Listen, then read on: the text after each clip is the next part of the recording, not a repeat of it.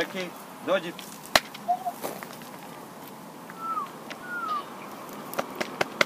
Dođi. Dođi, Jackie.